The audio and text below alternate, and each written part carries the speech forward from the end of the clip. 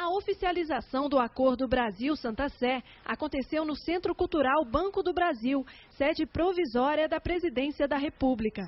O núncio apostólico Dom Lourenço Baldisseri, que participou da reunião, disse que a assinatura definitiva do tratado é um momento histórico para a Igreja e para o Brasil.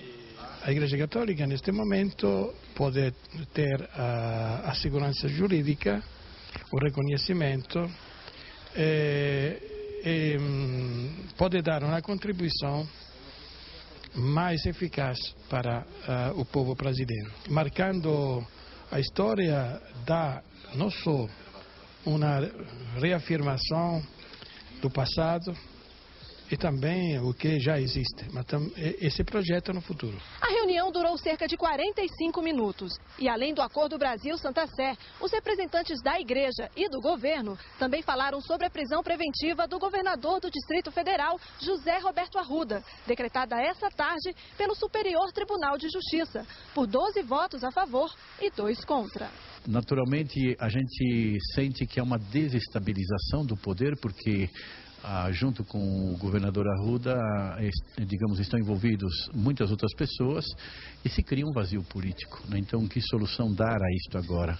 Eu acho que o, um milhão e meio de assinaturas que foram feitas para reformular eh, a possibilidade de alguns candidatos que já têm problema com a justiça não se tornarem candidatos e políticos que já têm mandato, mas que estão nessas condições também saírem, é uma boa iniciativa para a reforma política.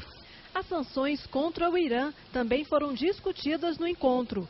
Segundo Dom João, o diálogo com o país é a melhor saída para a polêmica em torno do enriquecimento de urânio autorizada pelo governo de Mahmoud Ahmadinejad. Talvez as sanções, como são impostas é, pelas grandes potências, né, é, França e Estados Unidos, não seja o melhor caminho para é, solucionar esse problema.